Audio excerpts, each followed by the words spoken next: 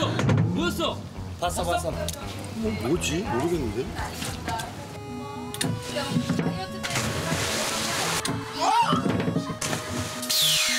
방금은 그냥 숨만 쉬신 것 같은데요. 성경 씨가.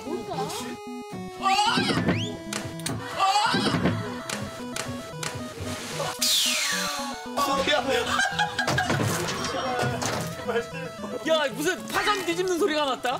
여러분, 여러분들이 지금 제시어에 대한 감이 너무 없으신 것 같아서 제가 1번 제시어를 좀 알려드릴까 아, 예, 하는데 좋죠. 어떠세요? 좋죠, 좋죠. 알려드릴까요? Of course, of course. 자, 1번 제시어를 알려드리도록 하겠습니다.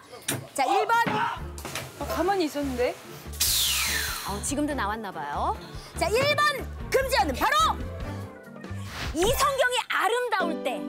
이 성경이 아름다울 때. 에? 어? 어떤 기준이야? 그거는 이제 플라잉 체어 작동하시는 분의 기준. 예.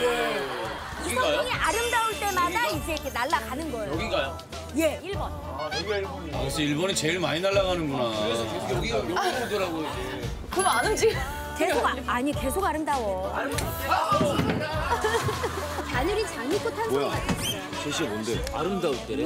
아름다울 때? 아름다울 때 시로 날아가는 거야, 그럼? 계속 그냥 날아간다고 보시면 돼요. 예.